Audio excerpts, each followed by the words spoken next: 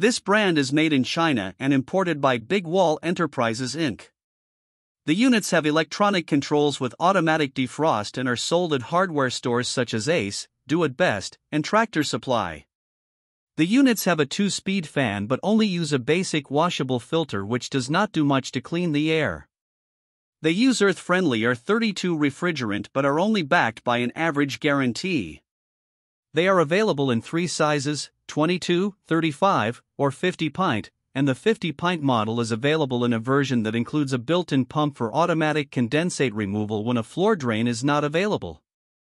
This brand receives an overall 2 star don't buy rating from HVAC Repair Guy.